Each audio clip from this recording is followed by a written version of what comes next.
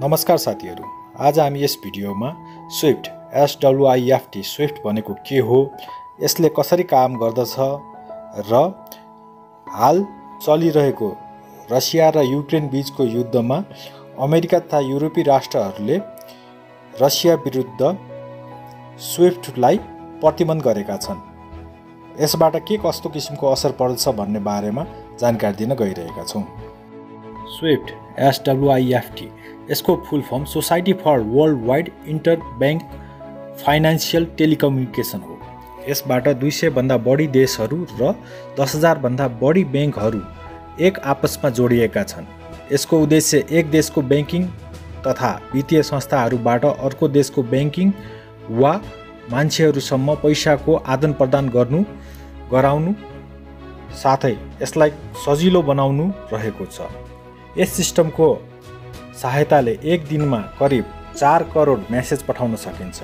यानि कि एक दिनमा यति धेरै पेमेन्ट वा करेन्सी एक्सचेन्ज वा अर्डर प्लेसमेन्ट हुन सक्दछ। यस सिस्टममा ओनरसिप अथवा मालिकीय हक सदस्य देशहरूको एक किसिमको कोअपरेटिभ सोसाइटी वा कम्युनिटीले राख्दछ जसको मुख्यालय बेल्जियमको राजधानी ब्रेसलेसमा रहेको छ। यो एक प्रकारको नेटवर्क हो न कि डेबिट क्रेडिट गर्ने संस्था। यससँग कुनै प्रकारको जमा पुँजी हुँदैन। साथै लेनदेनमा यसको कुनै प्रकारको हिस्सेदारी रहँदैन।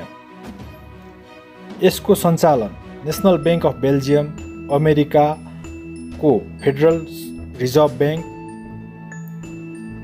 European central bank bank of England bank of Japan साथै ठुला राष्ट्रहरूको केन्द्रीय ब्याङ्कहरूको प्रतिनिधिहरूको रेखदेखमा हुन्छ।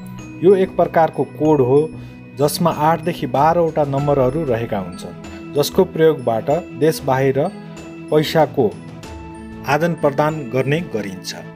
यो कोड देश बाहिर ब्याङ्क ब्रान्च लोकेसन आदिको पहिचान गर्नका लागि प्रयोगमा ल्याइन्छ।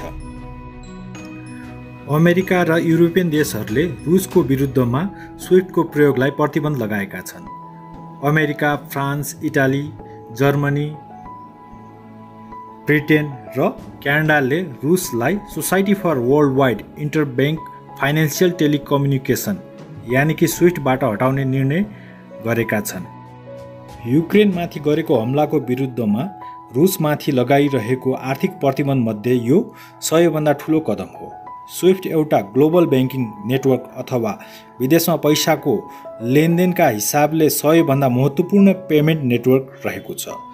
यसबाट बाहिर हुनुको मतलब रुस विश्वका अन्य मुलुकहरूबाट फाइनेन्सियल ट्रान्जिसनका माध्यमबाट काटिनेछ यसको मतलब कुनै पनि देश रुसमा पैसा ब्याङ्कको माध्यमबाट पठाउन वा रुसले पठाएको पैसा अन्य ब्याङ्कहरूमा बाट भुक्तानी गर्न सक्दैनन्। रोइटसका अनुसार चाँडै नै ती ब्याङ्कहरूको सूची सार्वजनिक गरिने जनाएको छ जसले रुससँग कारोबार गर्न पाउने छैनन्। सँगसँगै रुसको केन्द्रीय ब्याङ्कमाथि पनि प्रतिबन्ध लगाउने कुरा चलिरहेको छ। यसबाट रुसलाई घाटा त हुन्छ हुन्छ तर यस प्रतिबन्ध लगाउने अमेरिका यु राष्ट्र साथसाथै विश्वका सम्पूर्ण देशहरू रुससँग कारोबार गरिरहेका छन्। ती राष्ट्रहरूमा समेत यसको व्यापक असर पर्न जानेछ। साथसाथै विश्व जगतमा एक किसिमको आर्थिक महँगाई बढ्न जानेछ जसको प्रत्यक्ष मारमा गरिब राष्ट्रहरू साथसाथै तेस्रो मुलुकका राष्ट्रहरू पर्नेछन्। यसबाट नेपाल पनि अछुतो रहने छैन।